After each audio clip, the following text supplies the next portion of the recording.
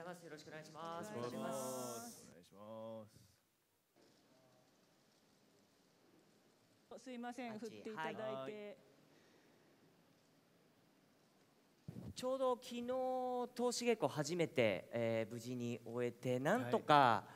通すことができて、もういよいよもう明日初日ということで、まああのバタバタしながらだったんですけれども、あの一つのそのルローニケンシ京都編というものがこう一つにつながって、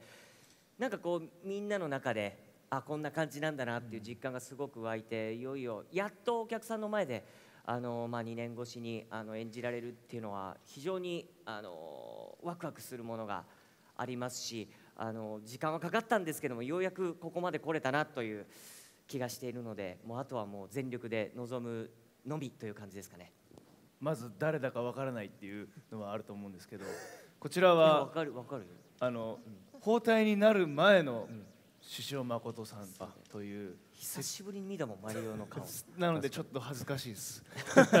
ずっと包帯だったのであのーまあでも、えーこの劇場に来て2週間くらいですかねねね。あのーお稽古をしましてなんか稽古場ではこう見えなかったものとかが、えーどんどんどんどん明確に見えてきて、えーあなんかやってる僕たちもあこういう風になるんだっていう、それこそ劇場で新たな発見があったりとかもありましてもうで昨日の投資もめちゃめちゃ楽しかったんで、もう初日開くのが今一番楽しみです。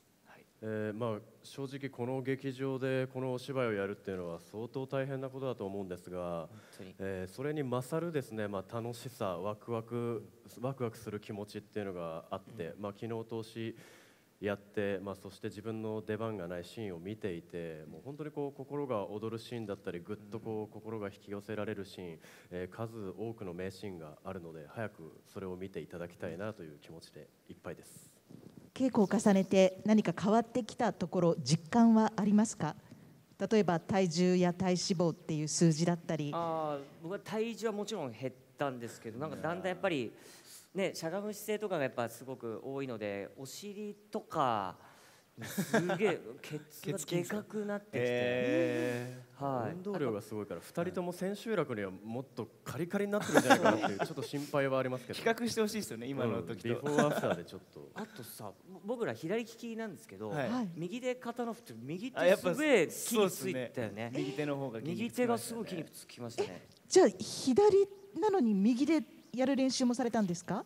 右手というか。いうかまあ普通にはい。刀右ではい、うわ大変ですね。どれぐらい？僕今のところまだ2キロぐらいですかね。多分ここからどんどん減っていくと思いますけど、えーそうなんですね。いやはい。2公演の日とかもあるんで。はい。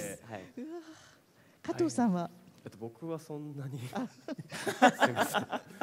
いまあ。さほど変わってはいないかなという感じですねはないるほど